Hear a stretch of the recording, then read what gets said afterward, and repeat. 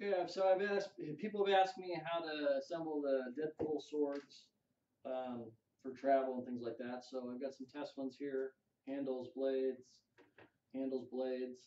They go in pretty pretty snug. Um, basically, you put the handles in the blade, make sure they're in there snug, just like that.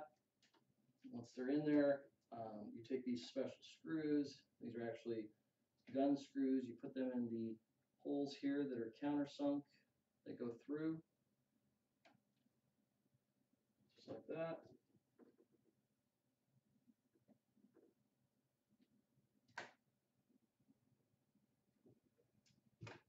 And I use a drill when I first start putting them in.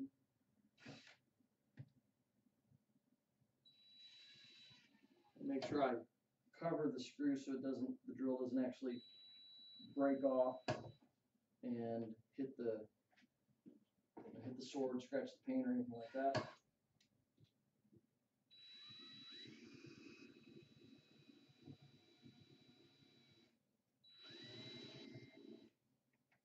And then I'll go through and I'll tighten it up with a screwdriver to do any of the remainder.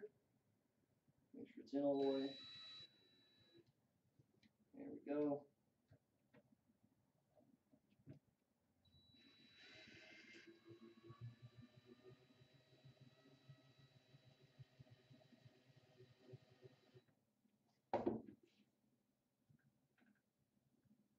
That. So the blade's in there good. Move around. Uh, the other side of the screw is actually hidden behind the wrap, so you can't see it. Um, you basically do the same thing with the other other blade over here, and then you need to take them apart um, to go, you know, on a trip or something like that, you basically just reverse the process. So there it is.